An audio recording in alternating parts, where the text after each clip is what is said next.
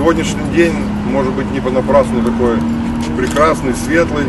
И хочется пожелать вам, вашим близким, чтобы все остальная, вся остальная жизнь ваша была такой же светлой и прекрасной, как сегодня.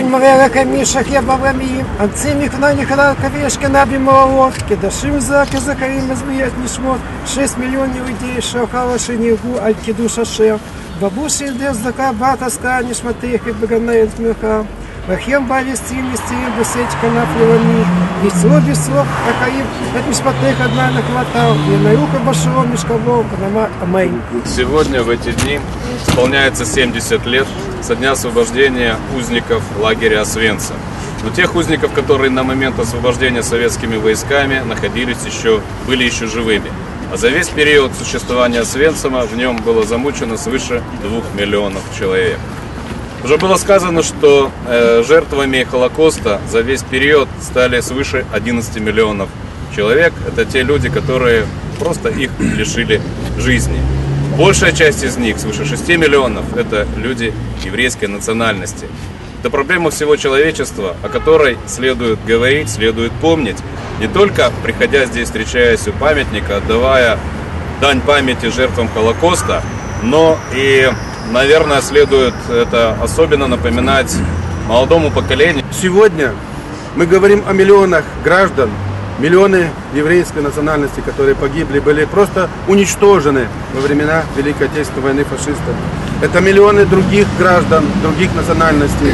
Всецело это более 24 миллионов граждан, которые погибли во время Великой Отечественной войны. И сегодня я хочу пожелать всем вам, вашим близким, родным, любимым, о том, чтобы никогда не постигла такая участь беды, которая была постигнута 41-45 год. Я хочу пожелать вам всем мира, счастья и здоровья. Спасибо. Моя семья столкнулась также с этой войной. У меня два моих дедушки воевали в польской армии.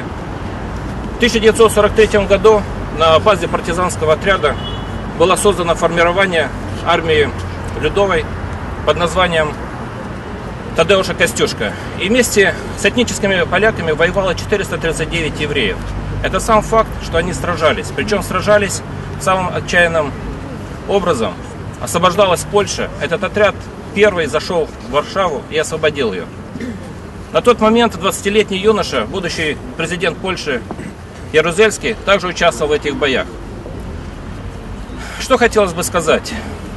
Этим героям мы будем вечно должны.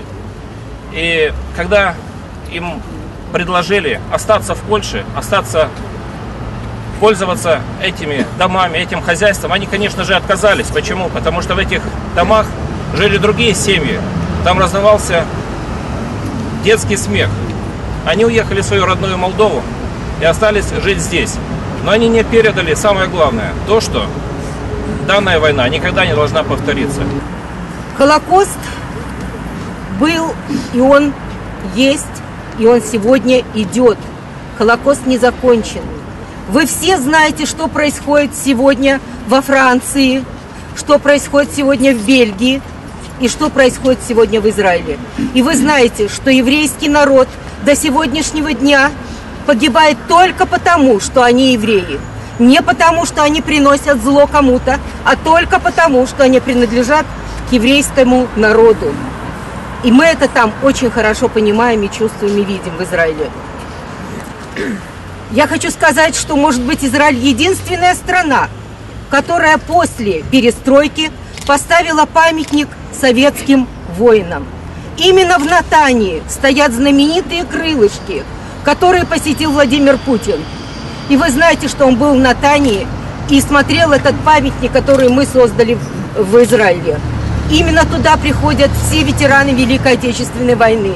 Если бы вы видели, как много среди нашего народа героев Советского Союза, героев, которые защищали Союз Советских Социалистических Республик, ту страну, в которой мы родились и в которой мы выросли. Они есть, и они еще живы. И мы должны их беречь и помнить о том, что они сделали для нашего народа.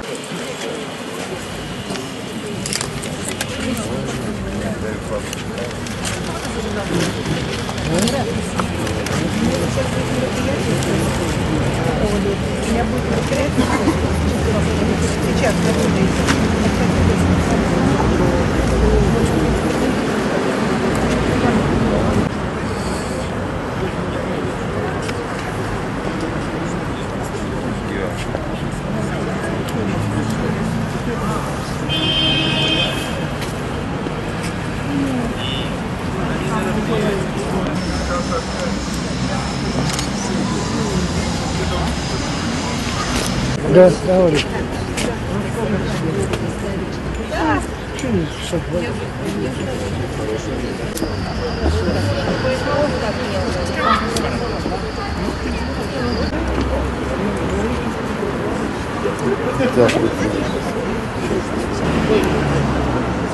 Чуть-чуть улыбочку.